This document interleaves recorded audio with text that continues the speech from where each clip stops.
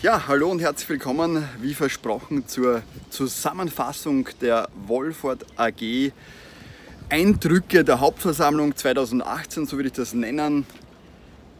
Es wird, es wird, es wird, steht auf dem Geschäftsbericht 2017-2018, der wunderbar aufgemacht wurde, mit recht nicen Fotos für uns Herren auch drinnen, muss ich zugeben.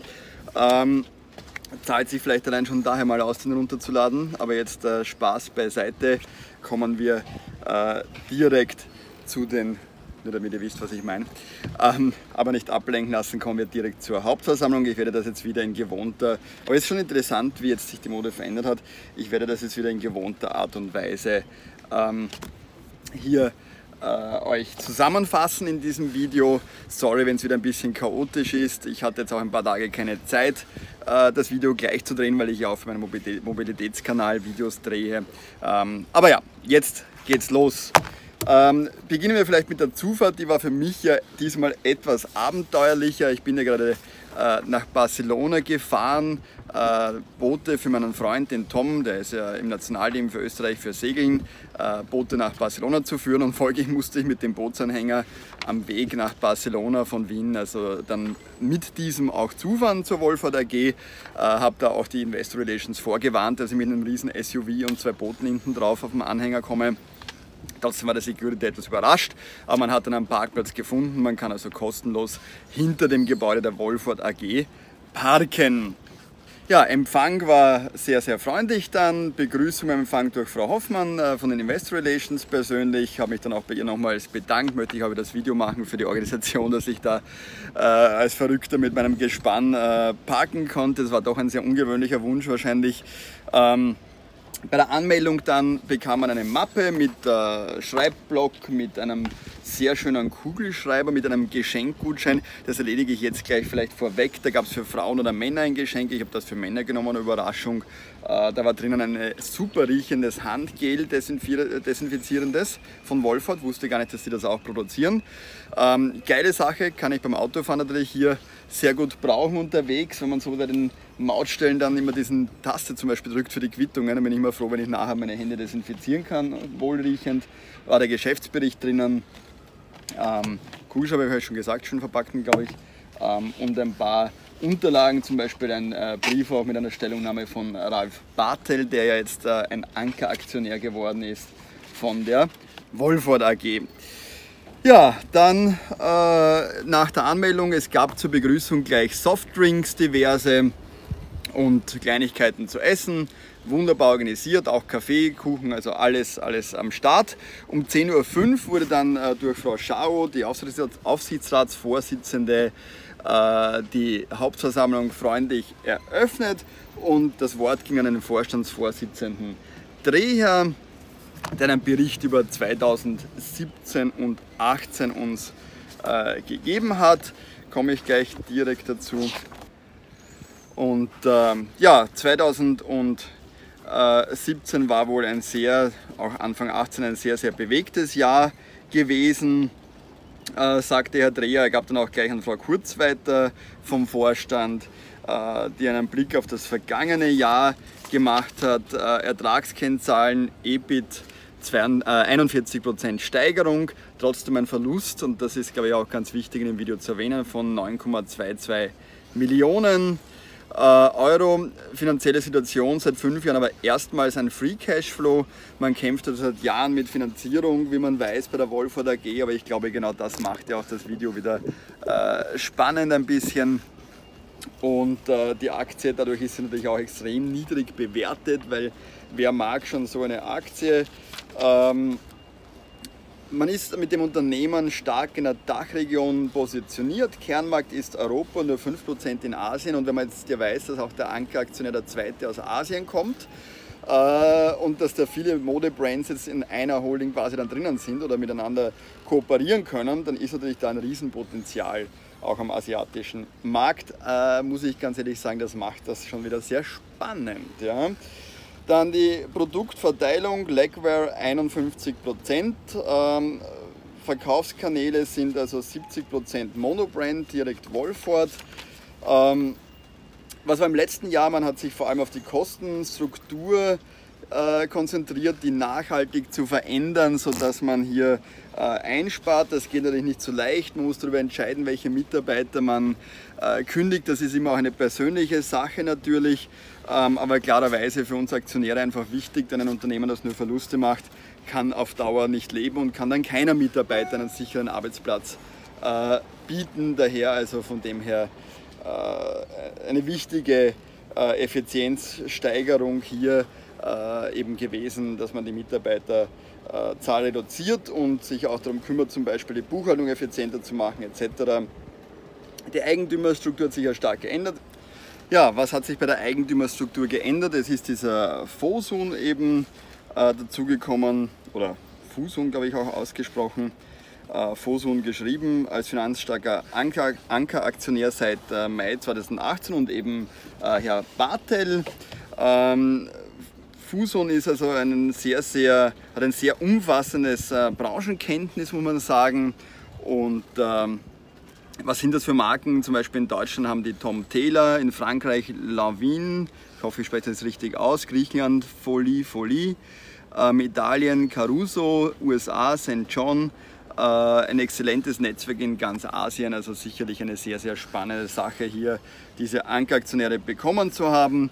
Ähm, was sind die Ziele? Fokus auf Exceptional European Skinwear, dass man hier die Marke sozusagen auch ein bisschen ändert oder diese, äh, das, das, das Brand in die Richtung eben ändert. Äh, Marktkommunikation auf Millennials, da werden wir auch dann zu meiner Wortmeldung noch kommen, weil da sehe ich eben so ein bisschen auch ein Problem bei den Produkten, aber das ist eine ganz persönliche äh, Meinung, nur man geht jetzt sehr stark auf eben neues Marketing, Social Media sehr stark, YouTube, Instagram, Influencer etc. Ist hier also auch sehr offen. Daher war es auch kein Problem für mich, Fotos zu machen, ähm, weil man sich also hier sehr in diese Richtung jetzt auch konzentriert. Ähm, und äh, ja, man hat jetzt, äh, vielleicht darf ich auch noch von den Mitarbeitern hier was sagen, äh, von 1360 Mitarbeiter haben wir jetzt, vorher waren es 1491 vor etwa einem Jahr, also da hat man doch deutlich reduziert. Ähm, denn ja, dann hat man eben sich auch beraten lassen voriges Jahr. Da waren relativ hohe Beratungskosten bei der Umstrukturierung, aber dafür starke Einsparungen möglich. Ähm, und äh, man hat neue Pop-up-Stores äh, entwickelt und da geht es vor allem auch um das Design der Auslagen, wo man also mit Bildschirmen arbeiten kann. Äh, man hat eine personalisierte Tattoo-Strumpfhose entwickelt. Die jungen Damen stehen also Schlange für diese Strumpfhosen äh, sagte man. Ähm, und äh, ja, also dann noch zahlreiche Auszeichnungen auch für Umweltverträglichkeit etc., was vielleicht sicher im Zeichen Nachhaltigkeit auch eine wichtige Rolle spielt. Der Saisonauftakt war trotzdem relativ schwach, ähm, was angeblich auch daran lag, dass eben ein sehr heißer Sommer war. Ich spüre es jetzt auch gerade hier in Monaco noch, obwohl endlich ein kühleres Lüftchen äh, kommt. Und äh, denn die Leute aus der Annual Meeting Community wissen, dass ich hier dann auf eine Hauptversammlung gehen werde der äh, SBM-Aktie, also das ist sozusagen die Holding vom Fürstentum Monaco, wo Fürst eigentlich oder das Fürstentum also Anker-Aktionär ist. Äh, da gehört das Hotel de Paris rein, Café de Paris, das Casino, äh, Monte Carlo Bay Hotel, äh, diese ganzen Bauten, der Neubau, der jetzt drüben gebaut wird, äh, sozusagen das neue Land aufgeschüttet wird komplett äh, das alles gehört also da rein äh, in dieses Unternehmen. Da gehört auch dazu übrigens dann Glücksspiel Bet at Home. Ist man hier mit einem Franzosen gemeinsam zu, ich glaube sogar 50 Prozent äh, in etwa Beteiligte, wie es die Bet at Home Aktie. Aber das ist eine andere Geschichte. Ich werde versuchen dazu auch ein Video dann zu machen. Nur die Begründung, damit ihr euch nicht wundert, warum ich hier gerade in Monaco sitze. Freundlicherweise bei einem Freund am Boot untergekommen. Ähm, ja, vielleicht noch kurz zu meiner Wortmeldung, oder nein, vorher noch, sorry, es ist wieder chaotisch. Ähm, 46 Aktionäre waren anwesend, Aktionäre und Vertreter, das ist vielleicht auch noch spannend für euch. Es gab zahlreiche Wortmeldungen oder es gab ein paar Wortmeldungen. Ich war einer davon. Äh, bekannte Herr Müller übrigens war auch dabei. Leute, die aus Deutschland dieses Video sehen, werden wissen, wen ich meine.